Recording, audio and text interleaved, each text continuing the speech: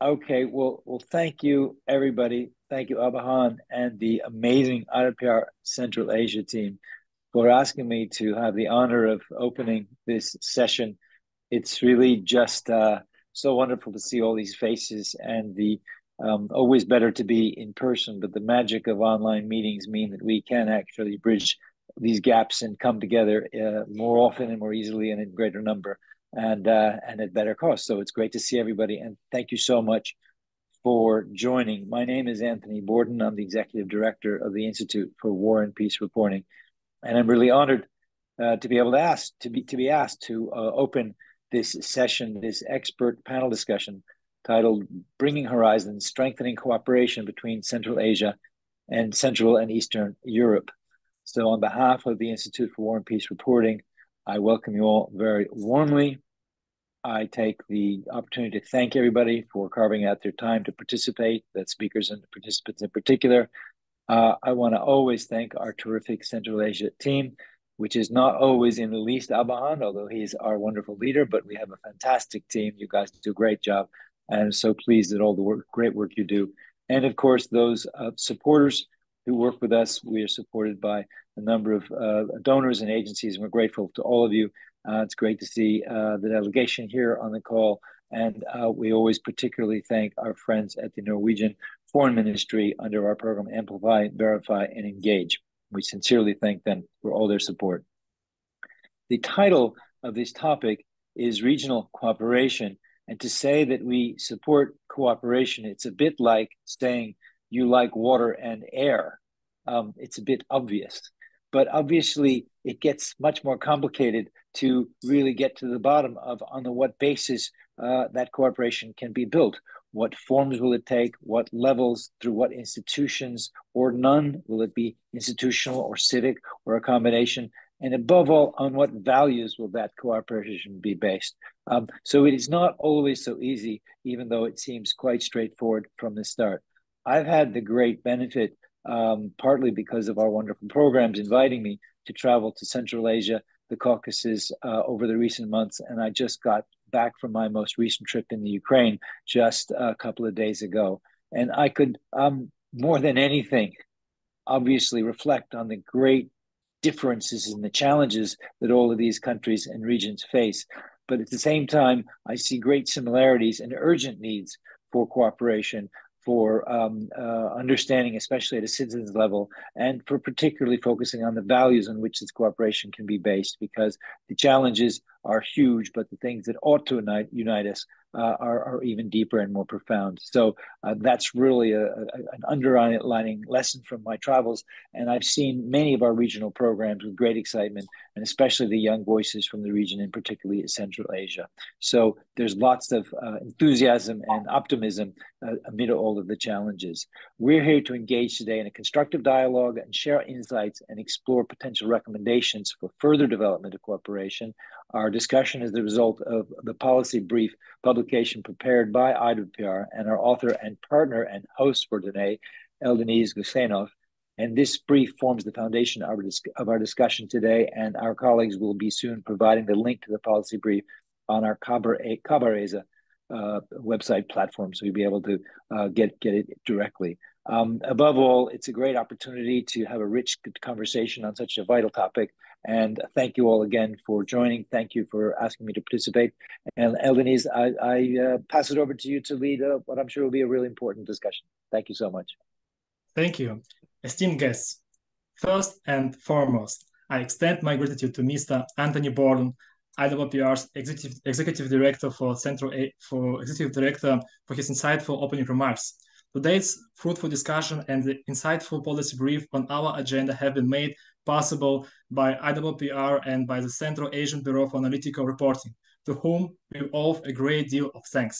My appreciation also goes to the Khabar Dark Asia team, whose unwavering support for the initiatives of emerging professionals and seasoned experts has been indispensable. In these times of rapidly evolving relations between the European Union and Central Asia, it's crucial to highlight strategic role of Central and Eastern Uh, European countries. These nations serve as pivotal links connecting Central Asia with the European Union. These years, 2022 and 2023, marked significant milestones in the relations between these regions, demonstrated by an uptick in high-level bilateral visits and a boost in trade. Our gathering today is aimed at delving into potential opportunities and exploring new avenues for cooperation through the lens of the expert community from Central and Eastern Europe and Central Asia. I'm profoundly thankful for your presence today as we navigate this critical dialogue for the advancement of our interconnected regions. We are honored by the contributions from our esteemed speakers. Mr. Maciej Madliński, the head of the Political Press and Information section of the delegation of the European Union to the Republic of Kazakhstan. Dr. Mara Gubaidullina, the director of the Center for German Studies at Al-Farabi Kazakh National University. Dr. Maris Andžāns, the director of the Center for Geopolitical Studies, Riga. And Mr. Aludin Kamilov, the chief research fellow at the Center for Progressive Reforms with his progressive presentation from Tashkent. Your insights today will be invaluable, and I'm confident that the discourse we share will resonate and lead to fruitful collaborations. Thank you all once again. I would like to touch upon very briefly some technical technical regulations. We are holding this event on record and taking occasional snapshots. So in case you are not comfortable with that, please um, uh, please let us know, kindly inform us by writing to our colleagues in the chat box who have an IWPR in the names. However, we will appreciate if you stay with your cameras on so that we have a sense of being all together. Please drop your questions in the chat box during the event. We will read them out when the time for the Q&A session comes. Finally, we are providing a simultaneous interpretation during the event, so this message is for Russian-speaking audience. Мы обеспечиваем синхронный перевод во время мероприятия. Поэтому, если вы хотите переключиться на русский язык, выберите русский язык на нижней панели в Zoom со знаком глобус. Если у вас возникли проблемы, пожалуйста, напишите нашим представителям, которых вы можете найти в чате с припиской IWPR. So let's start with our first presentation. Our first speaker is Eldenis Guseinov, me, And I would like to share my screen and start my presentation with opening remarks and um, recommendation for um, policymakers in Central Asia. Uh, can you see my presentation? Uh, let me restart. Let me restart a bit. Sorry for, for that. Here's my presentation. Great. So let's start.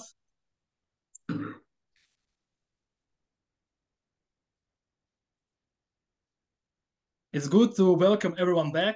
Since I am the author of the policy brief, I would like to start today's discussion and focus on recommendations for decision makers in Central Asia countries to strengthen bilateral relations between Central Asian countries and Central and European countries. So what prompted this topic? I'm passionate about data processing through the R programming language. So I managed to, do, to download news from the Ministry of Foreign Affairs of the Republic of Kazakhstan through the organization's official uh, Telegram channel. I decided to do a content analysis uh, and count how many times EU countries are mentioned in 2021 and 2022. So you can see here two, uh, two graphs with number of mentions of European countries in the news of the Minister of Foreign Affairs of the Republic of Kazakhstan. And I was surprised that there's a trend of increasing mentions of Central and Eastern European countries, especially during the crisis in 2022. So we can see uh, the frequency of mentions of Hungary, Poland on first place in 2022. And also we can see like a frequency of mentions of Romania and Lithu Lithuania and other Baltic states and from of other Eastern and uh, Central European states. In addition, there have been uh, high-level visits. For example, uh, Serdar Berdimuhamedov uh, made his visit to Europe after becoming president of Turkmenistan in Hungary, and Viktor Orban, prime minister of, of Hungary, recently made his first visit uh, to Turkmenistan. We can also add the first visit of Prime Minister Petr Fiala of the Czech Republic to Kazakhstan and Uzbekistan this year. Uh, what is bridging both horizons? So firstly, the countries in both regions are located near major economic players such as Germany for, for the in the case of uh, European countries and China and Russia in the case of Central Asian countries.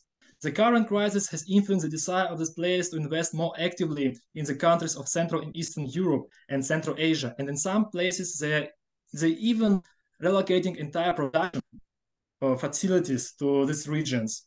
Due to the geographical proximity, this creates opportunities for economic cooperation. Secondly, many Central and Eastern European countries seek to promote cooperation with Central Asian states at the EU level. This phenomenon was described by Professor Fabienne Bossuyt of the University of Ghent, who called it the Europeization of foreign policy of European states. She cited Romania and Latvia as examples uh, in addition, uh, there is an emerging trend of increasing numbers of staff um, from the Central Eastern Europe countries EU bodies. Some, in some cases, above the proportion of the population of these countries in, in the EU. So from my point of view, this creates an opportunity to promote interest of Central Asia states in the EU. I mean, like uh, through countries of the Central and European, uh, Central and Eastern European countries.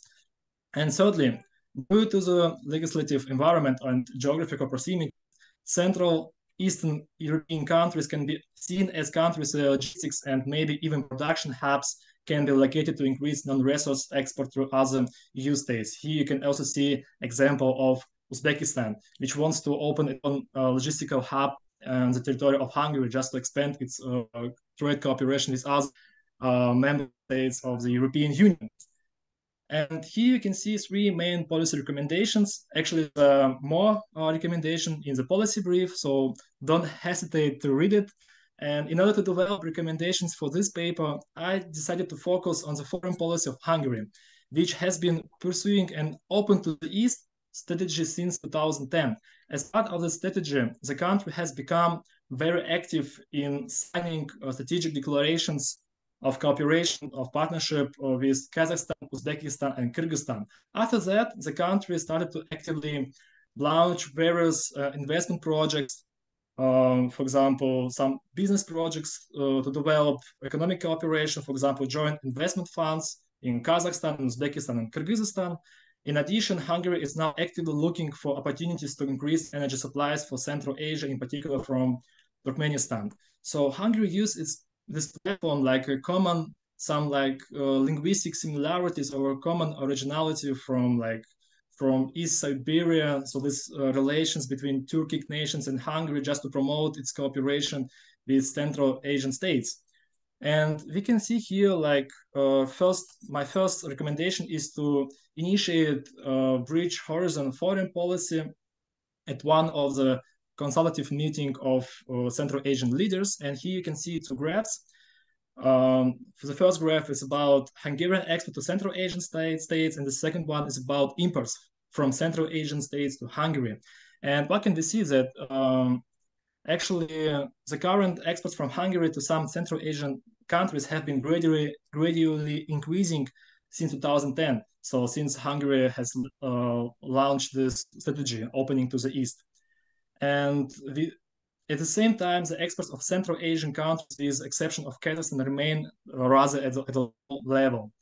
That's why I decided to propose to Central Asian states to also announce, uh, announce the foreign policy concept, bridging horizons, at one of the consultative meetings of uh, Central Asian leaders to, in order to give a sign to Central and Eastern European countries about the desire of the countries of the region, of the Central Asia, to further expand cooperation with them this concept could be extended to, to some other regions of the world. The announcement of the such a concept, concept should increase the subjectivity of Central Asian countries because earlier they were, they were actually aims of some others uh, foreign policy concepts, some other external actors. So within the framework of this concept, it's possible to announce a year of Central Asian countries uh, in the countries of Central and Eastern uh, Europe. For example, um, for example, 2009 was the year of Kazakhstan and Germany, and 2010 was the year of Germany and Kazakhstan, which significantly influenced the development of economic and trade relations between the two, between two countries. Here you can see also the graph with dynamics, uh, with the growth of trade between Germany and Kazakhstan after the organization of these events. So I think there need there is a need uh, to to I think the needs to be more em emphasis on cooperation with think tanks from uh, Central and Eastern European countries, especially on the issue of information sharing. It will be possible to launch cooperation between different think tanks on information exchange so that analysis from Central and Eastern Europe countries could have a first-hand knowledge of Central Asia when developing recommendations. So here are three steps which Central Asian states could use just to promote deeper cooperation with think tanks from the Central and uh, Eastern Europe, like identifying cooperation themes and knowledge centers, after that establishing publication exchange. For example, a strategic uh, Center of Strategic Studies from Kazakhstan could maybe cooperate with the Center of Strategic Studies in, in Latvia, and they could maybe like mutually publish articles on different interesting issues for both sides. So they could promote this cooperation and exchange uh, information just to uh, raise uh, awareness of both regions. And if you want to, if you wish to read our policy brief dedicated to the topic of our discussion. Scan the QR codes for more details. Here is the first Q, uh, QR code for policy brief in, in, English, and the second one is uh, in Russian. So thank, thanks a lot for your attention, and let's move on to the next presentation, actually also related, related to the topic of, of my presentation from Mr. Maciej Madalinsky on the topic lessons from Central Asia from Central and European uh, Central European cooperation. Mr. Madalinsky, the floor is yours. Yes, uh, thank you very much, Mr. Gusenov. I have to say that um, uh, I was when I saw the title "Expert Panel," I was really flattered that uh, uh, I'm part of the expert panel. I don't consider myself an expert, but uh, well, trying to be a practitioner of everyday relations uh, with Kazakhstan uh, here um, on behalf of the European Union, and also it happens being from one of the Central European countries, from Poland. So I thought that maybe uh, some reflections could be could be uh, relevant to our discussion but also i mean the title was also like uh, you know, um, quickly proposed, uh, and um, let's uh, let's hope that also word lessons is not too serious uh, because it's just a couple of thoughts and uh, and uh, reflections on on uh, how I see from my from my both background and practical work here in Kazakhstan and the region. Okay, I mean also used to work in the region in other countries. Um, how I see similarities, differences, uh, yes, perhaps some lessons and some and some uh, mm, uh, conclusions that can be drawn and some comparisons, but without too much. I mean, while being, of course, very very wary of um, simplistic comparisons because the regions are both of them are very diverse and also they are they are different from each other so with this start um, yes, uh, we uh, uh, the diversity of both regions. I think maybe it's something that mm, I have seen already previously when when maybe exactly 20, 30 years ago, when I would say external observers uh, saw the Central and Eastern Europe as homogeneous, and, and of course it's not. Uh, the same uh, maybe now or maybe not only now, but but for me, for example, let's say a process of I don't know the last ten years uh, to see also the Central Asian region uh, that uh, initially uh, it's um, without much mm, thinking, let's say, or without focus previously on the region, uh, one would think that yes, obviously relatively homogeneous, similar similar history, similar similar geographical position, but uh, if it can be a small lesson, is that it's it's definitely that both regions are very diverse. Uh, what is for me personally the the um, has, al has always, or at least in the last ten years, the attraction of Central Asia is that it's on two border lines. Yes, I mean, as you of course uh, every one of you knows, both uh, the southern uh, now um, avoiding any qualifications like the last uh, like the last where was that in in Bloomberg um, the southern neighborhood of Russia well objectively and also the border, the the the, the border uh, of the world of potentially radical Islam. I mean, first of all, Afghanistan. So uh, this is a very complex.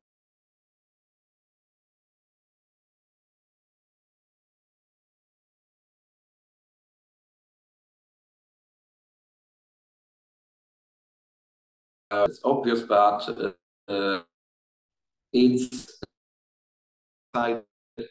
meaning that uh, the uh, borders, Russia, Belarus, uh, Kaliningrad, on eastern side, uh, at least for today, um, because obviously there are migration threats, there are there are um, obviously global threats uh, of any, of any possible nature, but uh, in a simplistic way, we can we can say that while Central Asia is facing, let's say, two uh, even geographically diverse challenges, then uh, for Central Europe it's more it's more one-sided. Uh, then uh, still, uh, for example, on the issues related to, China, uh, which is uh, mm, a global power uh, a top global power, and in this sense, the, the traditional the traditional geographical indications maybe don't matter that much because China is present everywhere. Uh, that's why no east, no no north or south, but simply Chinese Chinese presence as such uh, is a challenge, obviously, for both regions. Um, and uh, here I think that uh, Central and Eastern Europe, all the or the Balkans, have learned uh, the hard way um, mm, the risks of uh, um, unregulated uh, Chinese economic activity. Uh, and uh, for example, in my country, Poland, there was a very um, loud example, which for many years served then as a, let's be honest, warning uh, which was the which was the 2012 uh, Poland Ukraine um, uh, European Football Championship with China ready to to construct the one missing very important east-west highway uh, basically linking Warsaw to, to the western border, Berlin, and further to Europe. There were still at the time several missing uh, uh, links, uh, several missing sections of that highway of absolutely crucial importance. I mean, especially in view of exactly of this major international football event. And uh, the uh, mm, the story ended with a big disappointment uh, and some um, very fast, expedited retendering was needed in order to find other contractors than the Chinese. Uh, and somehow the thing was uh, this, the thing ended up successfully in the last minute before the championship started. So uh, there, that was definitely a lesson that at least in Poland, I think it uh, left a, a, very clear mark that uh, Chinese uh, investments need to be um, scrutinized really, really very seriously and seen with, uh, and, and, especially major ones that, that important for the country's infrastructure, uh, that um, they, they, they should be looked at with, uh, with, with, with caution. And, and also then when I said the Balkan countries, I mean, uh, candidate countries like Montenegro, uh, there is this north north south highway uh, which is being built by China, and uh, as far as I know, um, neither the traffic nor the the, um, um, the, the, let's say needs assessment uh, they don't justify that that huge investment at this moment uh, and obviously here we're entering something that is really of a major warning for central asian countries meaning uh, debt uh, dependence on, china and i think that's that's the case of Montenegro in this case. Of course, I'm not focusing on that region, but that's my understanding that they are that they entered this trap of in, indebtedness to China, and that's something that we know. We know also in Central Asia in a very we see it in a very clear way, uh, uh, especially maybe maybe less in Kazakhstan, but more in some other countries of the region. Uh, then also, um, if we if we mention transport infrastructure, then obviously energy infrastructure, a very important area where where um, we are bringing, mm, just like in transport, also in in energy, we're trying to bring uh, Europe in general and and, and, and, Central Asia closer together. Um, and uh, uh, for for Central Asian, and and then both on the one hand and Central European partners, there there were simply some direct interest. So Central Europe, not just as part of European Union, but on its own. I mean, quite a few countries of Central Europe Uh, are consumers of, for example, Kazakh uh, oil through delivered through through the CPC, uh, through Russia. And and and um, for those countries, just like for Europe in general, it becomes very important to look at to look at alternatives, which of course are a question of much longer, mm, something with much longer horizon than than as it is for infrastructure. Therefore, mm, for the moment, uh, Central European countries plus Germany uh, rely on the on the on the transit through Russia. There is also investment. Uh, I think that Hungary was mentioned quite a lot. We just um, learned here after Orbán. Mr. Um, mm-hmm. Mondolinski, one minute left. Ah, so so maybe then let me just quickly finish with this investment. Gas investment, new gas investment by Hungary. We just learned from the ambassador after Orbán visit. And obviously, nothing new, the big Kazakh investment in Romania's oil sector, the KMG International.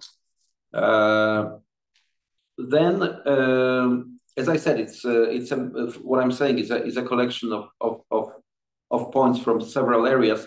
The formats, quite important. You know that there is a proliferation of formats uh, between, uh, let's say, Japan and Central Asia, U.S. and Central Asia, even Russia now in Central Asia. And that starts to also involve uh, European countries. We have now Italy and Central Asia. We we have recently Germany and Central Asia. And me, as representing the European Union institution, in addition, I would say that for us, it's more practical if uh, we channel uh, uh, our interest. I mean, European countries channel their interest through the existing European Union Central Asia dialogue. And I think that Central and Eastern European countries, let's say, will not have the scale. And I truly hope that in general, I hope that the proliferation of formats will stop. And actually, that Central European countries are well placed to actually use European EU channels and not building their own Central Asia plus Central Asia 5 plus 1, Uh, as those countries that I name, Italy and Germany, that uh, that did so. Uh, and then obviously, we we, we have education cooperation, we have trade cooperation, we have investment cooperation, where mm, interest of Central Europe in Central Asia is huge and growing, but hopefully can be largely channeled also through existing European Union Central Asia cooperation mechanisms. Also, one, one sentence, Uh, Central and Eastern European countries are very well placed, I think, to pass messages on Ukraine. Uh, and uh, let me just quote one quick example from this summer. Our delegation here, together with Stratcom colleagues in Brussels, we organized a trip of journalists to Poland and Ukraine, where we took one Kazakh journalist. I think it was a good start, and we can have more and not from other Central Asian countries and establishing closer relations also between media, uh, think tanks mentioned uh, previously, but also media, um, independent media between the regions, Central Europe, Central Asia, with a view also to promoting the European uh, view on Ukraine and on Russia's aggression, of course, extremely important for us. Finally, last sentence, if we're talking about Visegrad, let's say, cooperation as something that is developing uh, within the EU uh, as as closer uh, mm, as closer mechanism like like like Benelux. Well, unfortunately, now the issue of Russia a little bit, I mean, or even a lot endangered this model. That's why I don't see currently many lessons. I mean, except only that Russia, as always, can be divisive. And I think we see it also to some extent in Central Asia Countries, some of them are part of CSTO, some of them are not. Some of them are part of the Eurasian Union, some, some of them are not. Some of them can say things that are a little bit uncomfortable to Moscow, some of them not. So simply, we as EU, of course, are a big, big supporter of true regional Central Asia 5 cooperation, but, but Russia is a disturbing factor here, in my view. Thank you very much. Спасибо, Rahmet. Thank you very much, uh, Mr. Madalinsky, for your presentation, for your insightful presentation on different dimensions of cooperation between Central Eastern uh, European states and also Central Asian states. And I think that it's uh, you touch upon different dimensions, also political dimension, and we could uh, get known with European point of view. So now I have an opportunity to get uh, known better with with Central Asian uh, vision on this on this topic. So we have now presentation from Dr. Amaro Gubaidullina, uh, prospects for an enhanced partnership in the context of the EU strategy for Central Asia. And dear speakers, in order not to disturb you, I will just show such a so, so that you have only uh, two minutes left for your presentation. So please uh, keep an eye on the screen. So I, I hope you could see you could see that. Thank you, thank you very much. Uh, Mara Шалкатовна,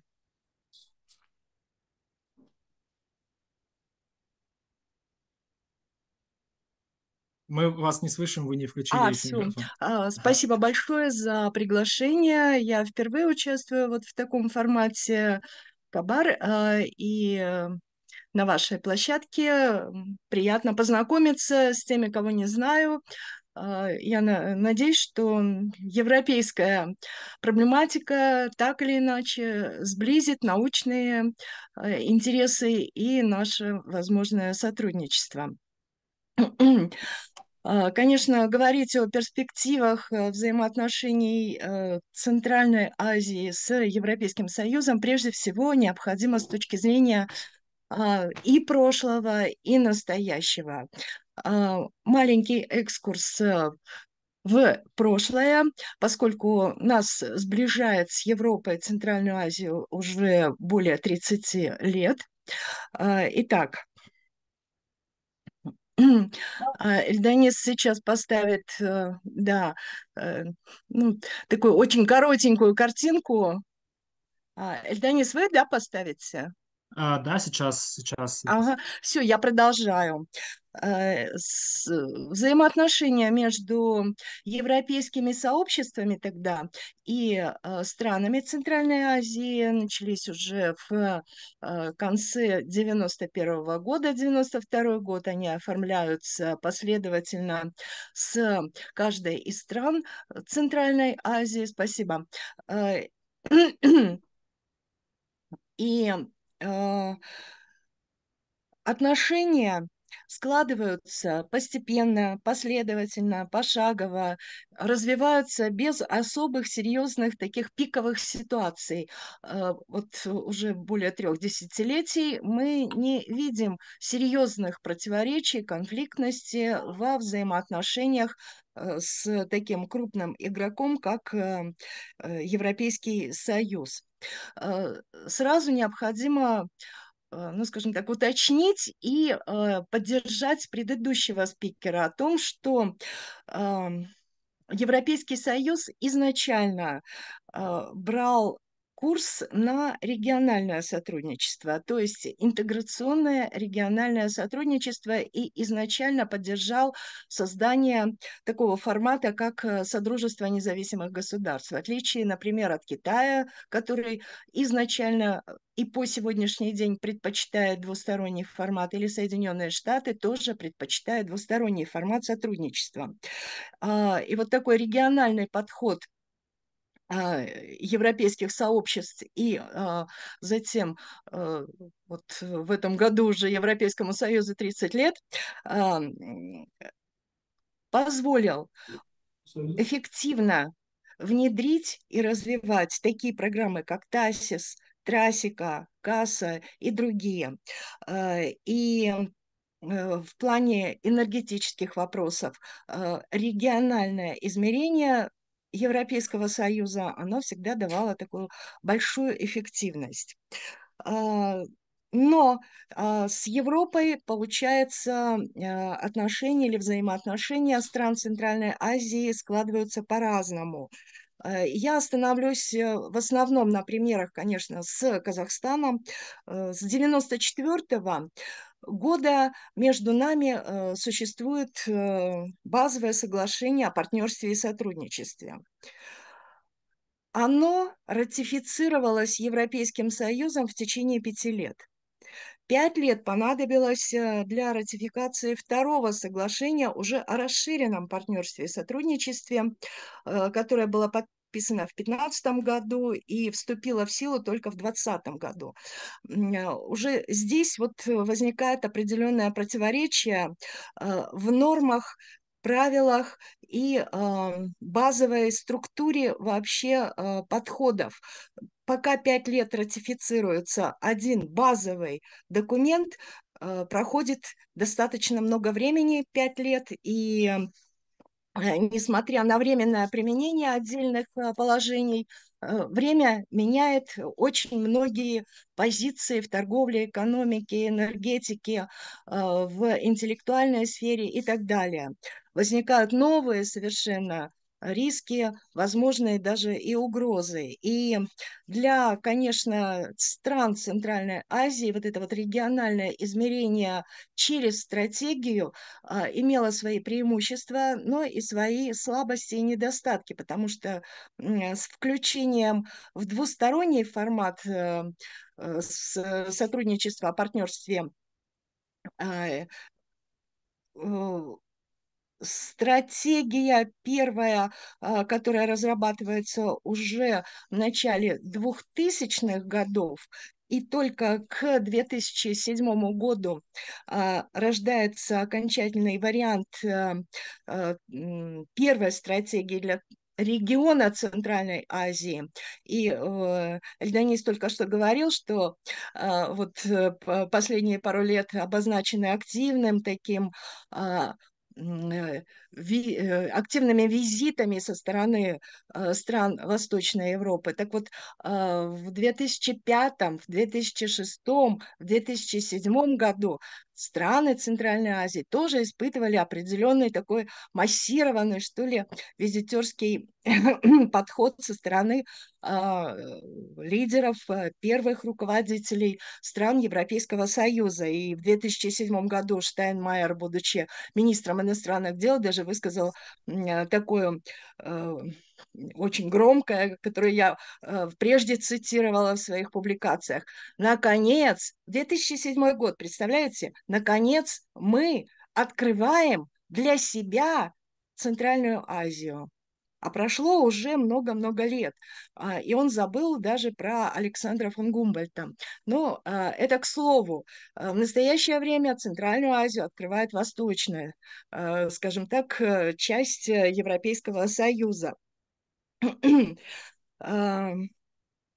Региональный подход к Центральной Азии, конечно, осложнялся и нашими внутренними противоречиями, и еще где-то в конце 90-х, начале 2000-х Такаев высказал такую мысль, что Центральноазиатский регион как таковой не состоялся по эм, ряду причин, и одна из них – это а, конкуренция между лидерами э, государств Центральной Азии за эм, более, скажем так, сильные позиции. А Казахстан всегда, в общем-то, в своем дискурсе высказывался, что он региональный лидер, что это даже в дискурсе звучало такое понятие, как а, державность. А, и только в 2014 году, когда появляется такой полностью опубликованный стратегический документ по внешней политике Республики Казахстан, там Казахстан позиционирует себя как э, государство регионального типа. С этих пор начинается, ну, скажем так, сближение центральноазиатских государств в региональном смысле.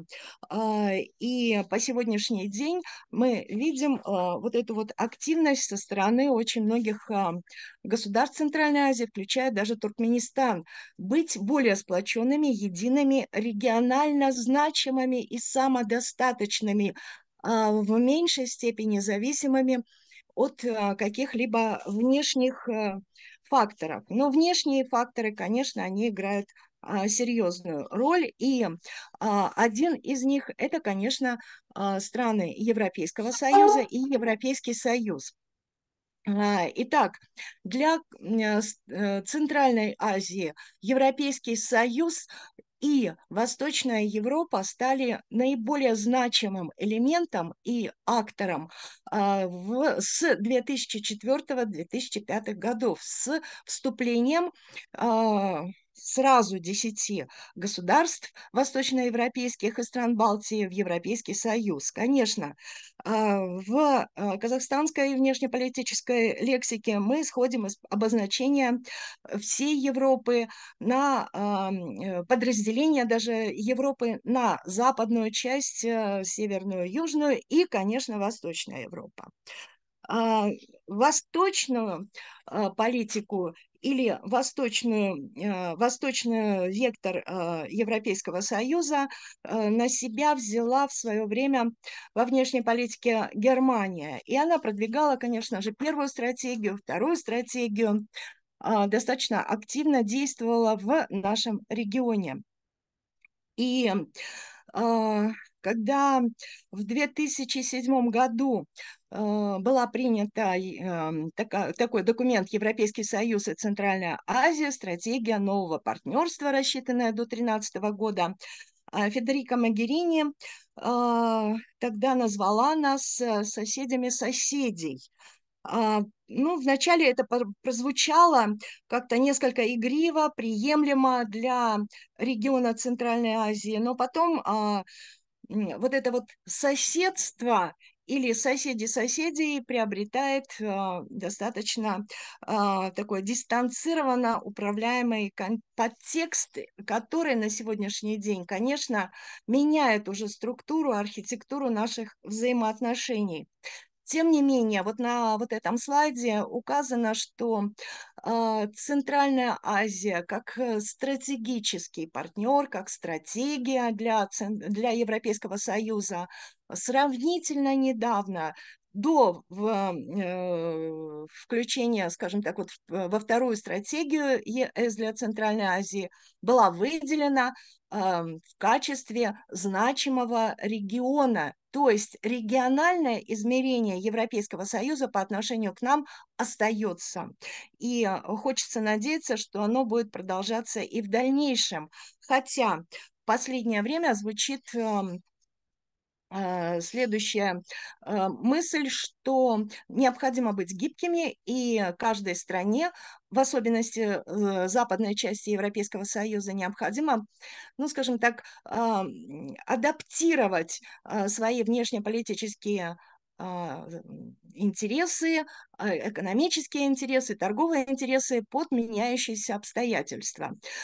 И таким образом для нас вот с одной стороны, Центральная Азия сейчас идет к консолидации, а, определенной а, сплоченности и кооперации, а, ранее невиданного уровня.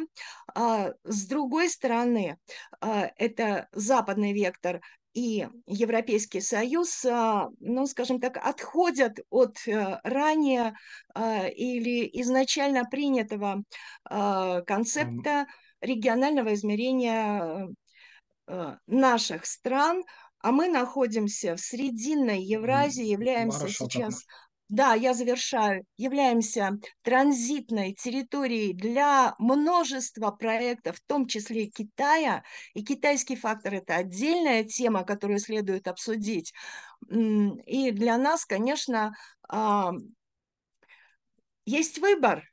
Либо китайские проекты в рамках а, одного пояса и пути – либо а, европейский европейская стратегия и Европейский Союз с а, множеством различных проектов, которые обозначены, ну, к примеру, вот э, для маленький э, заключительный такой элемент по критике, скажем так, э, финансовых и инвестиционных возможностей для Европейского Союза. Если первая стратегия закладывала 705 миллионов, а, евро для э, реализации первой стратегии. Вторая – 1 миллиард а, с, а, там, по-моему, 500 тысяч.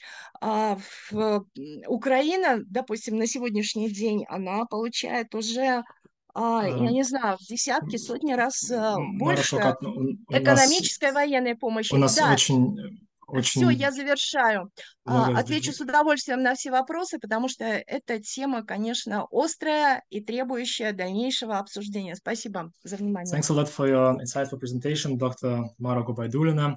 And we could now speak about different um, visions, maybe like from point of view of different sub-regions of the region of Eastern and Central um, Central European uh, region, like for example Hungary or even Poland. And now we have an opportunity to learn more about Baltic angle. So now we have presentation from Dr. Maris Andžāns, impact of Russia's war in Ukraine on the perception of Central Asia in the EU, the Baltic angle. Thank you so much. Uh, greetings from Riga, uh, Latvia. So I have also prepared a brief presentation. So I will indeed try to um, outline the, the perspective from the Baltic states on Central Asia. So I have my presentation in a second. So there it is. So uh, to, to begin with, uh, the I think Matze already mentioned that, uh, well, of course, uh, Central Asian countries are quite diverse, and so are also the Baltic states. So quite often we're bundled, you know, in the same group, uh, three sisters or three brothers, uh, Baltic states, but we're also quite diverse among ourselves. So, uh, having said that, it's uh, slightly slippery, uh, you know, to bundle them also uh, together when it comes to the these countries' policies towards Central Asia. But nevertheless, I will try to generalize things for the sake of convenience. Uh, but anyway, when we speak about the Baltic states, I think Latvia has always been uh, more active uh, in engaging with the Central Asian countries.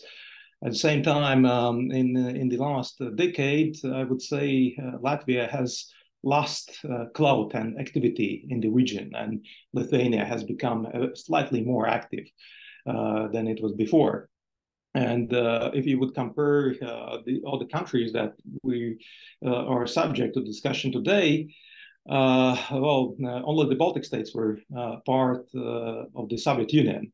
We were prisoners together with the Central Asian countries in the prison of nations called the Soviet Union. As a result of that, also, you know, economic, culture, and people-to-people relations were much closer than, for example, between Hungary or Poland on one hand and uh, Central Asian countries on the other hand. And as a result of that, um, I think there is quite uh, quite uh, quite good uh, level of recognition of the Baltic states still in Central Asian countries. So I've met uh, many people uh, also in Afghanistan and, and uh, of course in Central Asian countries that have studied in Riga or have served in the in the Soviet occupation army in the Baltic states or have visited the Baltic states. So I think the recognition is still quite high, but it's fading as as generations change. And uh, nevertheless, uh, all three Baltic states have uh, established quite, I would say, strong diplomatic presence, also economic relations and societal links with Central Asian countries. Uh, then another point that I have to underline, uh, the European Union. So the Baltic states are members of the European Union for 19 years already. So how time flies so fast. So almost two decades, we're a part of the European Union. And I would like to say that we are proud members of the European Union. Uh, unlike some countries, uh, again, uh, Hungary uh, probably is an outlier. Uh, the Baltic states are at the core of the European Union. We are members of Schengen zone, of Eurozone, and, and the Baltic states are one of the main drivers of uh, EU's Central Asia policy. So the Baltic states quite often have underlined that the Baltics are the advocates of Central Asia inside the European Union. And recently, in, in October 2023, uh, there, there, was a joint roadmap agreed uh, with 17 nine actions in the, in the following key areas. I will not read uh, all of them, but I think this is a, a, very important signal that the European Union still wishes to engage with, with the European Union. And why I'm, I'm bringing this to your attention because the Baltic states uh, foreign policy will be closely aligned to that of the European Union. So they will not be outliers as some other countries when it comes to values um, and, and policies to um, external actors and Central Asian countries among them. And now to the point, Russia's war in Ukraine and the Baltic states.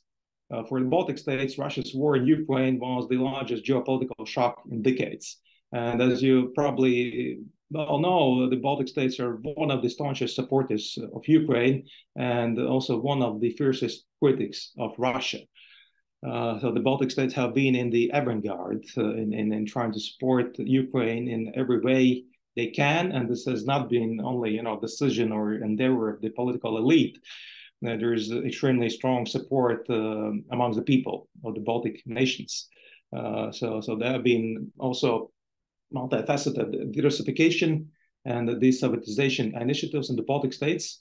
Uh, so, so much was already done in 90s, uh, but the last remnants of the Soviet occupation, uh, lost monuments, uh, lost streets were accordingly um, well demolished and remained in the Baltic states.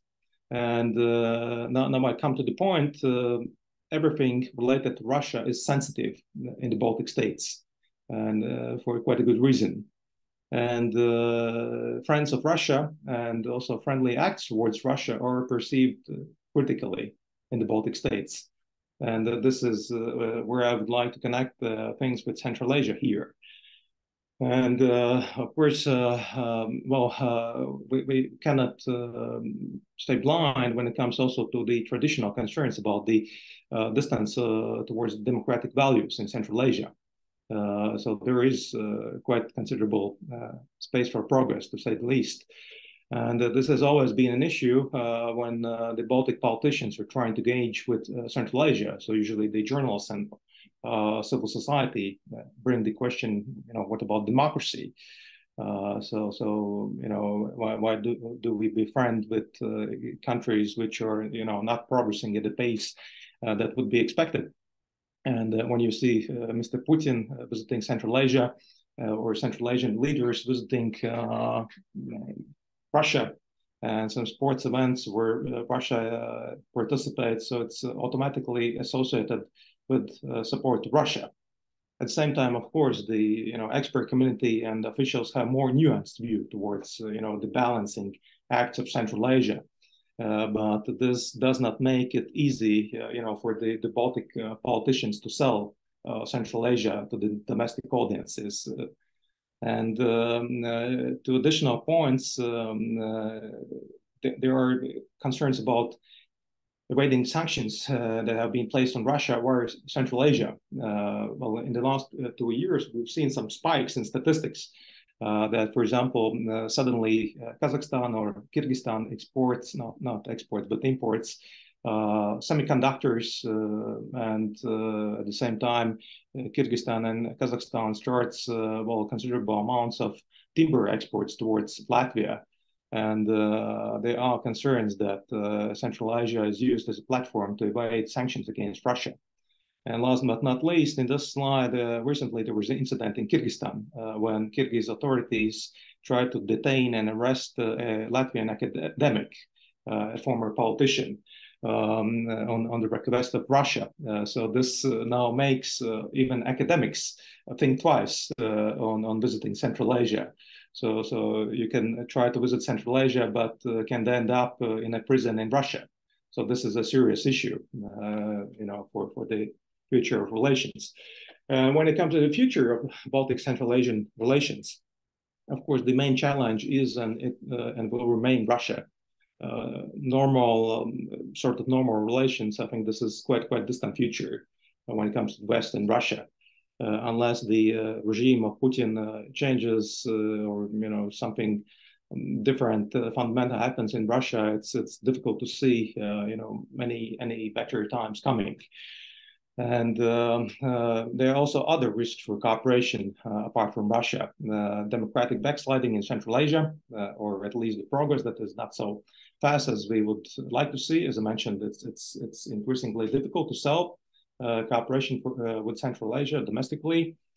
Uh, well, we I think it's also safe to say that there is also a decrease in Central Asian interest. Again, I'm you know generalizing things, you know, to, to be be on time.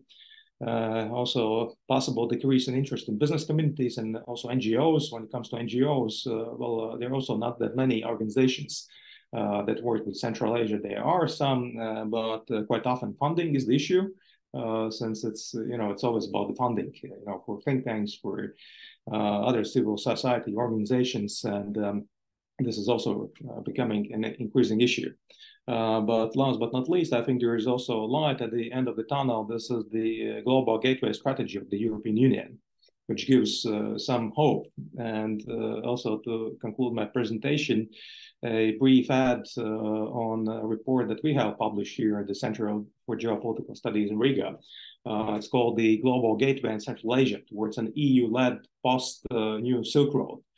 Uh, so this is sort of an uh, more like an inspirational um, report uh, with which we are advocating that the European Union tries to use and prioritize Central Asian vector as a part of the global gateway because otherwise you know there are many regions and you know what fits for everything maybe is not good uh, for anything uh, the saying goes. uh, so for that reason we advocate that uh, both uh, infrastructure projects when it comes to energy transportation digital should be promoted both uh, in, in the east of the european union also moldova ukraine so the Three Seas initiative um, also the caucasus countries and central asia should be uh, as, as much as possible brought together by infrastructure projects. And uh, here you can see a map that we have drawn, uh, which is, um, is trying to depict a uh, crescent uh, bypassing Russia connectivity crescent. So this is what we're calling as a part of this report. And uh, here I will end my presentation, and, and I hope there will be you know questions or comments, and I'll be happy to engage on those points. Thank you for your attention. Thank you, Dr. Maris Andžāns. It was very interesting to get acquainted with um, with a perspective from Baltic states. And I remember I read your policy brief, and actually it was quite interesting to get to get to delve more into infrastructure dimension of cooperation between both regions because like now we try to develop middle corridor and actually i was always asking myself how could it impact cooperation between Baltic states and Central Asia because they were connected um, via the territory of Russia. Now they should be connected via the territory of Ukraine or other Central Eastern European states, which could also actually influence, influence cooperation between both regions. And we have discussed actually several uh, perspectives of different sub-regions of Central and Eastern uh, Europe. And now we can actually move on to another interesting topic from Alauddin Komilov, and his topic prospects and challenges how can central asia and central and eastern europe enhance cooperation on water and climate change? Mr Komilov yeah thank you eldenis Komilov, uh, the floor me... is yours. Thank, thank you so much. Uh, let me share my presentation. Okay. So can you see it? Yes. Great Okay. Uh, so my name is Alauddin Komilov. I am from Uzbekistan. I am focusing on uh, regional cooperation, but recently I've been to Europe. I, I was doing research on global gateways uh, strategy, focusing on digital uh, uh, connectivity on digitalization, digital connect uh, connectivity. Today I'm going to talk about this water and climate issue. As, as we know, this climate change, climate change is a global issue that affects many regions of the world, even eh, Central Asia. So region is going through unprecedented climate uh, climate crisis, causing significant changes to environment at the same time affecting local population, uh, economies, and uh, eco ecosystem. In recent years, for example, Central Asia has experienced a significant uh, increase in temperature with average temperature rising one or two degrees Celsius over last centuries. For example, um, in in June, the Turkmenistan reached uh, almost 42 Celsius degree. Uh, in in temperature in Tashkent steadily was 42 degrees also, but in south people suffered under 44 degrees. It was the same uh, uh, in Tajikistan, Kazakhstan, Kyrgyzstan. For example, in uh, Kazakhstan and Kyrgyzstan, temperature was expected to rise uh, till 45 Celsius degree. So this uh, increase in temperature also causing prolonged drought, affecting agricultural production and putting food security at risk. Uh, for example, uh, th there is uh, studies on this um, prolong, uh, prolonged drought uh, since 1980s. For example, desert area in Central Asia has expanded to east and north uh, as much as 100 kilometers uh, in the territory of Uzbekistan and southern Kazakhstan, Kyrgyzstan, and includes some part of uh, China. And at the same time, we should talk about this water resources as we all know that the water resources in central asia connected by two uh, transboundary rivers which is uh, which are Amu Darya and Darya. but uh, studies also showing that and glaciers that feed these two main rivers are sh shrinking but according to some empirical studies it might shrink by more than half in, in within uh, several de de decades of course this creates several social economic and geopolitical challenges including migration and we, we shouldn't forget to mention also uh, reduce snow cover and increase frequency of natural di disasters. I think those people who were in Central Asia last winter will uh, remember very well the cold uh, weather and, and which caused uh, several natural disasters. And at the same time, uh, Central Asia is home to growing population. Right now, we are over 78 million people, uh, which is uh, projected to exceed 85 million by 2030 and more than 100 million by uh, 2050. This is a crucial, I would say, dire challenge. And we talk when we talk about uh, rivers. Uh, recently, there was there were several articles in Foreign Policy talking about uh, about potential conflicts in Central Asia uh, because of this uh, water issues. And we know this uh, Central Asian countries after dissolution of Soviet Union in 1991, they inherited uh, inherited a complex system of trading energy for water. For example, uh, downstream countries like Uz uh, Uzbekistan, Kazakhstan, and Turkmenistan supplied supplied electricity generated from fossil fuels to upstream countries like uh, Kyrgyzstan and Tajikistan during the winter time. Upstream countries, they stored water during winter time and uh, provided uh, these uh, resources to down, downstream countries during summertime for agricultural purposes. But since 1990s, um, uh, there, there have been alarming increase in water consumption, reaching an, an sustainable level. If you see this map, here you can see Aral Sea. In 1960s, it was uh, the fourth largest uh, sea on, on, on, on, on continent on, uh, in the world.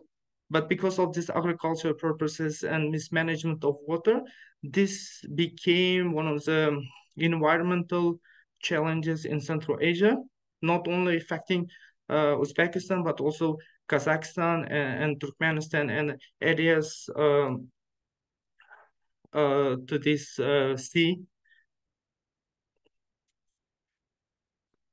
So, uh, and we should also talk about uh, there's a Taliban government in Afghanistan. Uh, we know that things was uh, everything was complicated in Central Asia, but Taliban uh, is uh, now building, the Taliban government is building new uh, canal, which is called Koshtepe Canal, which is expected to get two sort of the water, which is serious issue uh, because uh, despite this fact, despite this canal, Central Asian countries are suffering a lot, mm, particularly Uzbekistan and Turkmenistan, and uh, Taliban government is not cooperating on this issue, and they are building one of the biggest channels, which are 285 kilometers. They finished first stage and they, are, they have already started second stage.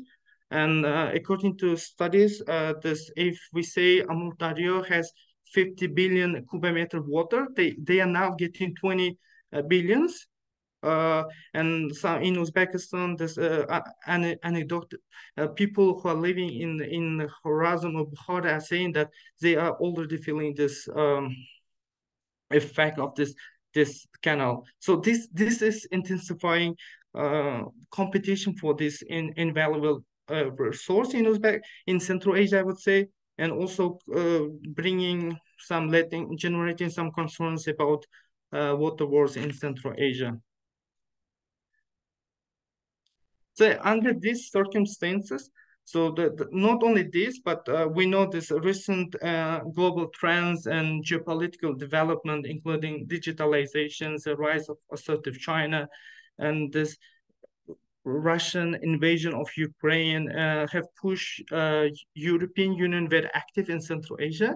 And, uh, and in response, in November uh, 2022, e EU announced global gateways which included two uh, initiatives. One focus fo one uh, focuses on water, uh, energy, and climate change, um, which are which is aimed to co contribute to managing water and energy resources, addressing in environmental challenges, and tackling other uh, climate change issues in five Central Asian countries, Uzbekistan, uh, Kazakhstan, Kyrgyzstan, Tajikistan, and Turkmenistan. So this uh, project has a budget 700 million, um, provided with initial uh, initial initial budget is 700 million euro, provided by uh, Latvia, Romania, Slovakia, and at the same time, some um, uh, Western European countries like Germany, uh, Italy, France, and Finland. Uh, so and and other other countries as well.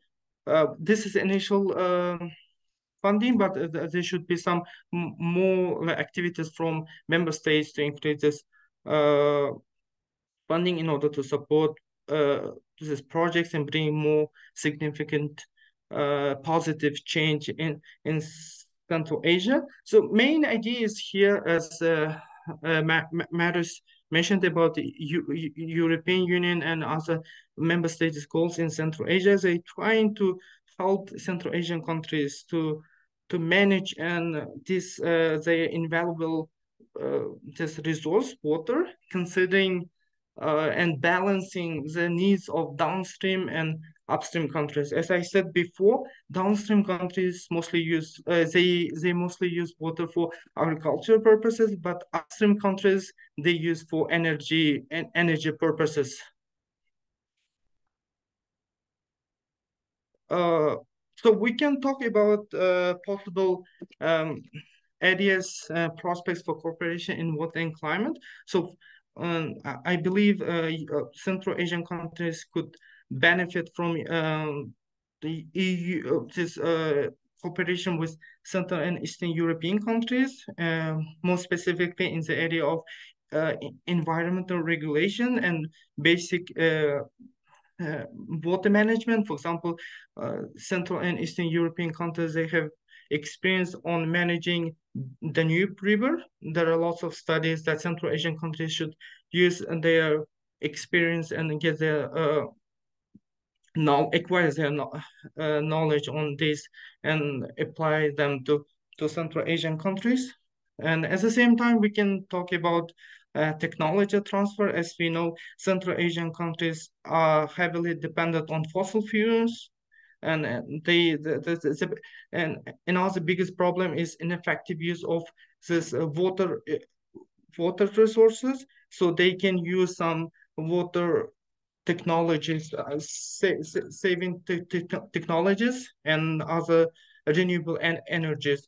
And we can also talk about uh, joint research initiatives. For example, uh, I, I, I checked that out of 13,488 journal articles in eight major journals focusing on Central Asia, uh, only 33 articles, which is uh, it's 0.24%. I think I, I think like academic communities and also uh, research community should increase their cooperation on water management and tackling uh, climate issues in, in this region. We can also talk about this, for example, uh, climate change mitigation and, adaptation strategies.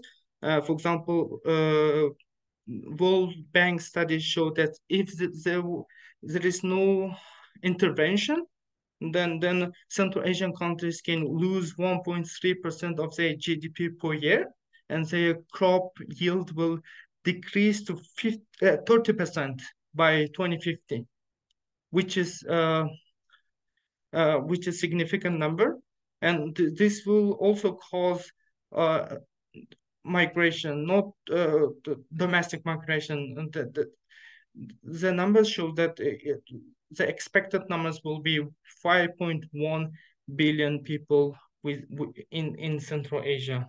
Of course, this case several uh, challenges not only for the region but wider Eurasian continent. I would say.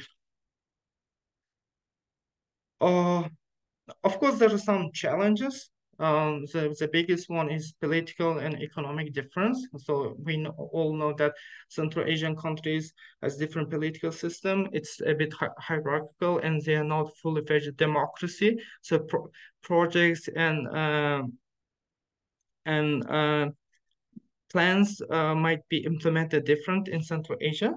This also creates several challenges.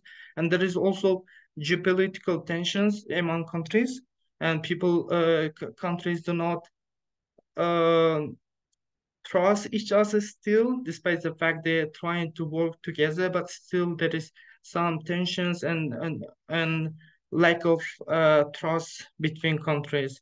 Of course and at the same time there is difference also in environment and climate conditions and there is also culture and language barriers for example effective for effective communication and mutual understanding um, language barriers might be significant also. And we can also talk about this, for example, other priorities, different priorities, regional uh, sorry, actors. And... Mr. Kamaldino, Kamilov, uh, uh, lack of time. could you please yeah. uh, finish your presentation? Thank you. Yeah, yeah, sure, sure. So uh, overall, uh, there are the possible areas Central Asian countries and Europe, uh, Europe, Central and Eastern Europeans can work. There are opportunities and challenges, but despite this, uh, different ideas about this uh, cooperation this area, but uh, there should be the future looks a bit um, promising. Thank you for your attention. Thank you, Mr. Kam uh, Kamilov. It was quite interesting to Uh, learn more about new dimension of possible cooperation between both region and I think we could we can discuss it further during our Q&A session and now we kindly ask all, all of you to fill out a short feedback form and evaluate the work of the speakers organizers as well as share your impressions. You can find the link to the feedback form in the chat box here. This will not take you more than five minutes and will help organizers to improve future events. Пожалуйста, запомните короткую форму обратной связи, которую вы можете найти в чате, и оцените работу спикеров, организаторов, поделитесь своими впечатлениями. Это очень важно для дальнейшей работы. Uh, dear Mr. Kamilov, could you please close your presentation and we can proceed to our Q&A okay. session? I have I saw some question in, questions in the chat box, but please, dear uh, participants, don't hesitate also to ask your questions in the chat box. So the first question I saw was from from Sergey. Russian normative economic political influence in Central Asia is getting stronger. Russian view of the West, especially of the Baltic states, Poland, and some other Central and Eastern European countries, is not particularly favorable. In this line, how would you assess rapprochement of Central Asia and Central Eastern and Eastern Europe? What risk and opportunities such uh, rapprochement present? So who would like to start answering this question? And um, also, uh, Dr. Mara Gubaidullina, if you wish to answer in Russian, you can also uh, switch on your microphone and speak in Russian. I think that our uh, interpreter could, uh, our translator could also uh, translate your answer.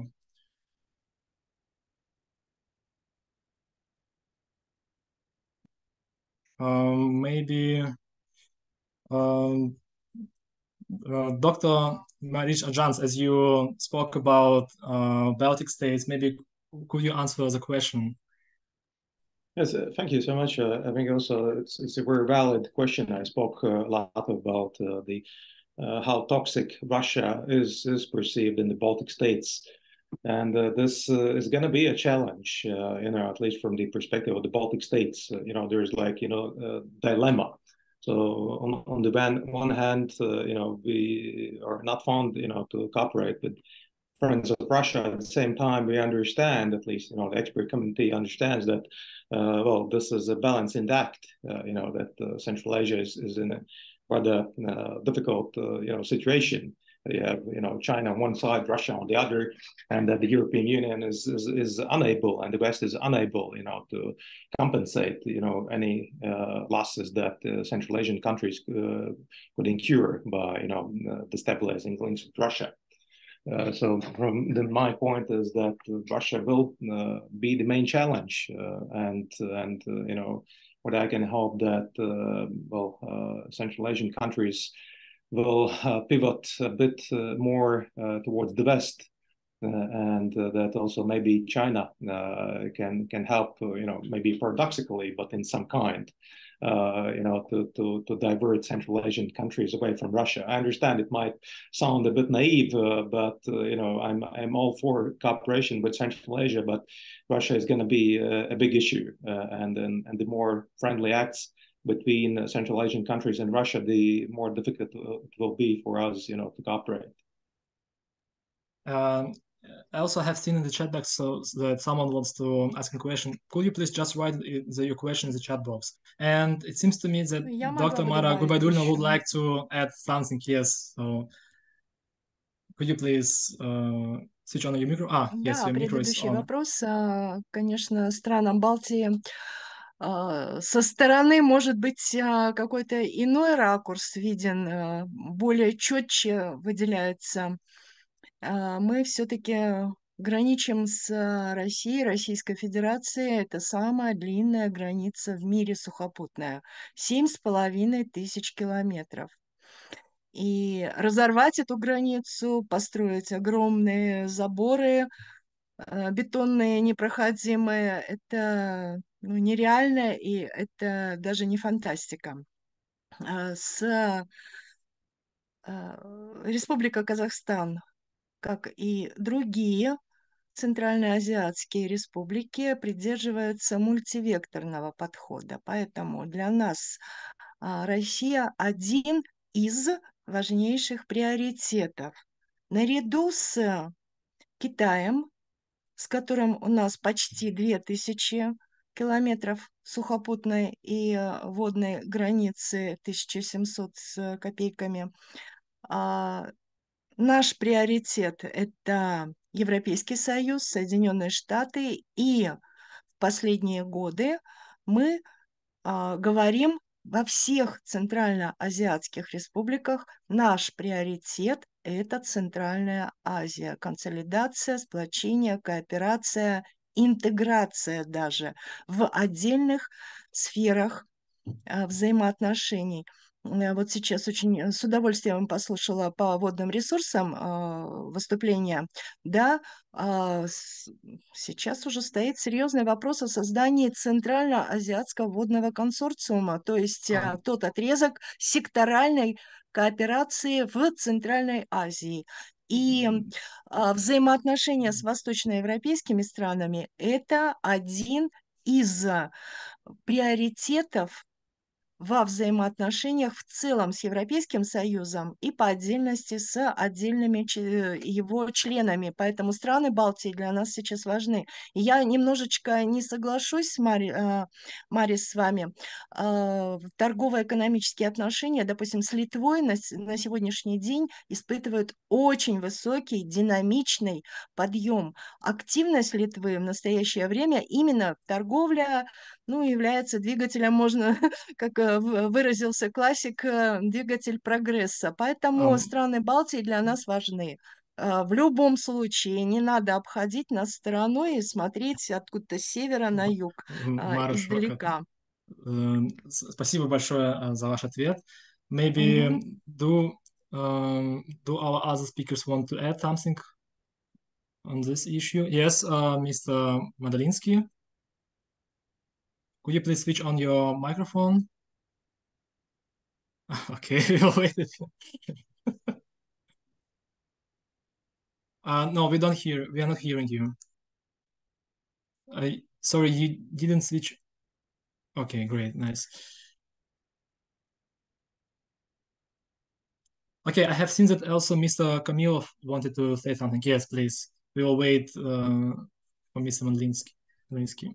Uh, yeah, uh, I, I totally agree with Mara Shavkatovna because in Central Asia we are directly board we have direct borders with China and Russia, and we all everybody knows Russia is revisionist power. So if we talk about something against Russia, we will provoke to Russia. And now we are focusing on Central Asia, building on commonalities. We are trying to talk about our uh, history, culture, and building other uh, probably regional identity, and not to, to, to discuss differences or focusing on security issues and others.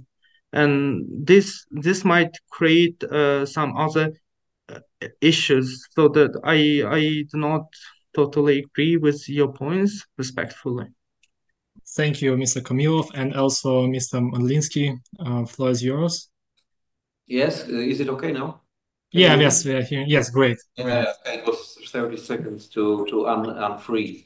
Mm, uh, yes, I also don't want to don't want to sound uh, also like a defender of this realpolitik that the border is there and Russia is there. But indeed, I for the Baltic states, especially, you know, I know that uh, Baltic colleagues here, even the embassies, they have mm, they have uh, transport diplomacy, and they and they simply are involved in uh, well promoting transit through Baltic ports. But for this, how do you reach the how do you solve the dilemma uh, of cooperation? I don't know with the Russian railways, which are essential if you want to Central Asian to, uh, partners to use your ports. So it's just uh, for me simply interesting from the point of view of understanding mm, how yeah how you approach this dilemma, which definitely is there and for a long time will continue to be. Thank you. Uh, now we have the second question. Uh, it's more about also cooperation between both regions. So Botasha Ripova asked, um, I would personally question the view of CE and CA, I mean, like Central and Eastern European countries and Central Asian countries, as in between squeezed by the big players, Russia, China, EU, also, of course, it's true. However, I think there's a merit of rethinking the deeper connecting roots, such as the so socialistic past and how it influences current realities in politics, economics, environment, management, culture, etc. There are many similarities and past dependencies which can be very promising for research and experience exchange. Um, so I think that we could also use maybe somehow our common history just to enhance cooperation between both states. But I mean, like the different perspectives of this common future, like from, for example, for Baltic states and they their perspective of the Soviet uh, heritage and also like from uh, other Central Asian states. So, what our dear experts, what do you think on this issue? So, like, how could we maybe rethink our history in order just to enhance uh, further cooperation?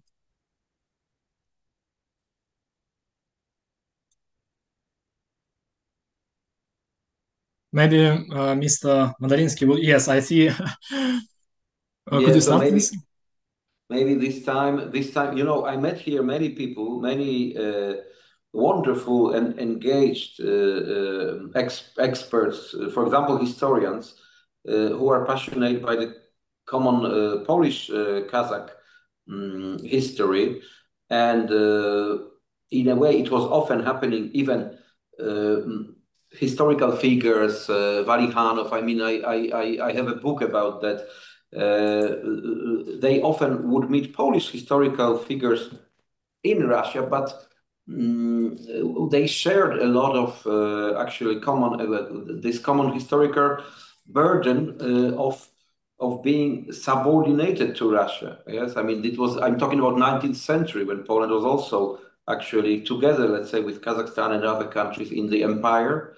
And um, I was very moved by, by, by, by, the book actually that, I, that I'm, I'm, I'm, I'm talking about, uh, where it was uh, showing shared stories of struggle of struggle uh, for for um, well for, for, for independence and, and actually uh, Of course, history went differently for different countries, but I think this legacy needs to be brought back to uh, to be brought back to to the to the to the uh, first stage and also more recent. Uh, I mean, the Baltic states. I mean, the Vilnius TV tower and 1986 Almaty. Uh, the same part of the same struggle. Uh, then in this case, in this case against the Soviet supremacy. So I, I, I, I think that um, yes, I, I was quite impressed by. I discovered those things only when I arrived to Kazakhstan. Thank you that's quite interesting to use some maybe like common historical events and also some like historical figures just to maybe like create some common projects and enhance cooperation. Maybe Dr. Maris Andžāns, regarding your presentation, maybe you like to add something on this issue. Yeah, uh, thank you. History is, is, you know, quite paradoxical in our case. As I mentioned, uh, well, um, uh, things related to Russia are toxic, and you know there are many dis-Sovietization initiatives here, uh, but at the same time, uh, the the uh, time that we spent together with Central Asians in Soviet Union, it brought us closer. As I mentioned, the people to people links were closer.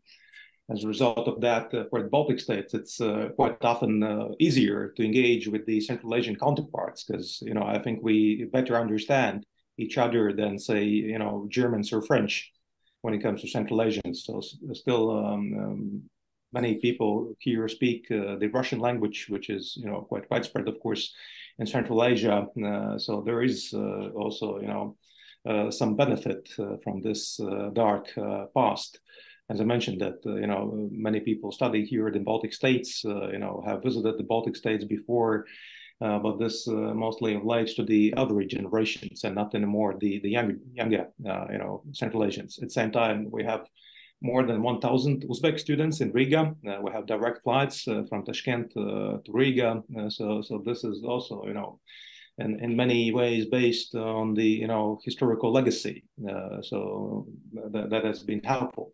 And also a quick remark to what um, uh, previous speaker asked about the uh, well Baltic dilemma, because uh, you rightly mentioned that the Baltic states are trying to their ports.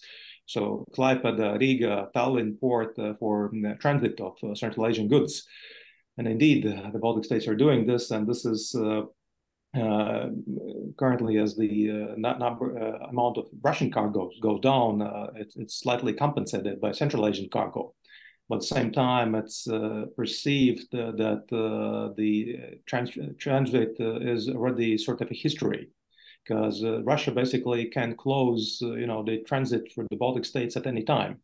At it's it's it's a decision at, at Russia and, and, and the Baltic mm-hmm. states are building, you know, uh, the Rail Baltic project and other uh, initiatives, uh, and East-West corridor is well uh, promoted, but at the same time, uh, will, will not be surprised if it will cease uh, to exist in the foreseeable future. That's quite interesting. And I have to say that I was also in Riga and impressed by the architecture of your city. And I would like to ask maybe some of our Central Asian experts maybe to say something on this issue. Yes, please, Mr. Komilov, and then we will move to the last question because we are running out yeah, uh, regarding to history, we shouldn't forget that Russia also had the, its own Orientalism. So when we read with Edward Said, he was arguing that with the passage of time, empires they will use history, music, and to to to change the history to to direct their own purposes. So in central asian countries we have big debate on on on this historical past and unfortunately our his, uh, his history books are divergent. We are trying to focus on each nation's uh, their glorious history instead of focusing on commonalities. Now uh, because of this new uh, i would say like new uh, generation and new, this because of this. Of course it's not just generation it's also because uh, because of this geopolitical challenges. Countries are talking about to focus on their common history commonalities rather than differences um, rather than uh, finding reasons to to distinguish uh, them from each other. Uh, basically if you see come to central asia like most of country, people like uzbeks kazakh and kyrgyz they can understand each other to, to, to large extent and they they had very common history. Yes, that's quite interesting. Let's maybe focusing let's focus more on similarities between our both regions between central and eastern um, european countries and central asian countries in our history books just to create maybe just to explain to future generations importance of bilateral cooperation i mean like between both regions and now we have the last question about um, initiative of Three Seas. And I would like actually also unite this question with my question about trust between Central Asian states. So my question, what can Central Asian states learn from Central and Eastern European states in trust building measures? So how can we, based on experience of these states, I mean, Central Asia, experience based on your experience of European, Central and Eastern European states build experience because I know there were a huge amount of wars between Central and Eastern European uh, states and also like all border issues are quite similar to issues in Central Asia. This is the last question, and after that we will end our finish our uh, very interesting discussion. So who would like to start? Seems to me uh, Dr. Maru Gubaidulina, you, uh, Dr. Maru Шархатна, you like to add something to say, to react on my а, Да, comment. я очень коротко. Uh, возвращаясь uh, чуть-чуть к предыдущему, uh, когда Европейский Союз строился как союз, экономический, торгово-экономический, а затем политический, он искал тоже свою идентичность и свои основы. И все-таки начинал думать э, чуть ли не с римских времен и Карла Великого, что объединяло в прошлом, а, в течение многих столетий, вплоть до 90, 1993 года, пока не создался вот Европейский Союз, что общего и какие национальные отличия все-таки есть. Поэтому нам терять а, вот на нашем евразийском пространстве прошлое и перечеркивать я не считаю большим смыслом.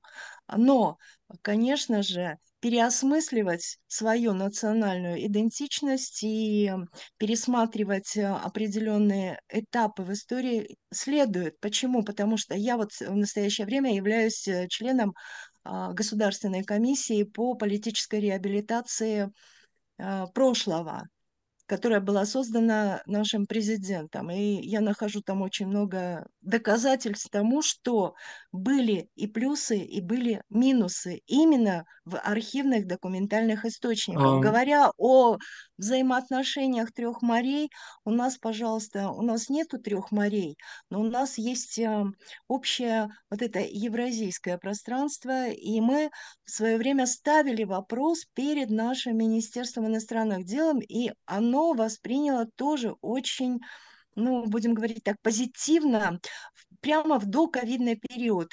А, опыт Вишеградской группы экономический, политический, прежде всего взаимодополняющий вот а, те новые страны Восточной Европы, которые, несмотря на свои противоречия, противодействия и даже конфронтационность, и даже раздел, а, помните, да, Чехии и Словакии, тем не менее вошли в определенную, ну, скажем так, э, группу стран, которая э, взаимодействовала и э, в какой-то степени продолжает взаимодействовать в различных А, проектах. Вот это один из опытов, а, который для нас тоже, наверное, привлекателен. Не обязательно его копировать, но он привлекателен во, а, во многих смыслах.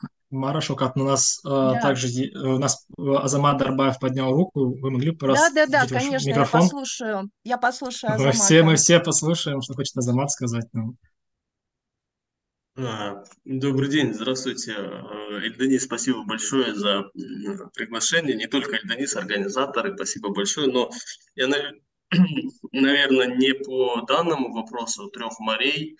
А, Хотел бы сказать, у меня есть отдельный вопрос, точнее сказать, А, два, две У поправки. нас, у нас, к сожалению, очень мало времени. Можно один краткий комментарий, пожалуйста, потому что мы уже зашли за пределы Хорошо, я тогда у меня есть э, буквально а, один маленький комментарий, если можно. Это вот э, ам, сейчас скажу минутку господину Марису. А, У меня такой комментарий, ну немножко такая ремарка, если можно. А, Первое, я бы хотел, ну сразу хотел бы сказать, что а, в своем выступлении вы сказали, что визиты Путина, вот процитирую, визиты Путина и лидеров Центральной Азии в Москву рассматриваются как поддержка России э, с Европы. Но, э, наверное, нужно смотреть не в контексте того, что они посетили друг друга или еще что-то, нужно смотреть в контексте того, что там было сказано. И всегда на всех выступлениях по итогам этих визитов на конференциях пресс-конференциях глава нашего государства, президент нашей страны, он всегда а, подчеркивает о том, что отношения России и Украины, они это их сугубо личные отношения, и а, Казахстан не выступал там с поддержкой а. или с иными какими-то моментами, связанными с а, российско-украинскими отношениями. Поэтому, мне кажется, здесь нужно немножко быть точнее а. в формулировках. А так, а, спасибо большое. Спасибо на самом деле большое. хотел много сказать, но... Спасибо конечно, за... Мы можем на эту тематику вообще обсуждать конечно, естественно, неделями, естественно. часами, годами. Очень долго можно об этом рассуждать и говорить. Uh, now I would like to suggest, uh, just to, I would like to offer to proceed to our closing remarks. Ladies and gentlemen, as we draw this enlightening discussion to a close, I would like to extend my heartfelt thanks to all our distinguished speakers and of course the audience whose engaging participation has truly enriched today's session. The depth and breadth and expertise shared today have not only highlighted the significant strides made in fostering cooperation between Central Asia and Central and Eastern Europe, but also underlined the vast potential that still remains untapped that we were talking about. And we are walking away with a robust set of recommendations for policymakers, a clear understanding of the lessons from Central European cooperation, and an actionable insights into the EU strategy for Central Asia. Furthermore, we have delved into the geopolitical shifts brought forth by the conflict in Ukraine and explored the vital issues of water and climate change cooperation. The panel highlight will be published on the CABAR.asia platform following tonight's event, and, and the recording will be uploaded on CABAR.asia YouTube channel. Look it up and subscribe. And we conclude, let us carry forward the spirit of collaboration and the valuable knowledge exchanged here today to strengthen the bonds between our regions. We must continue to build on this momentum, and I trust that each other one of us will play a pivotal role in this collective journey.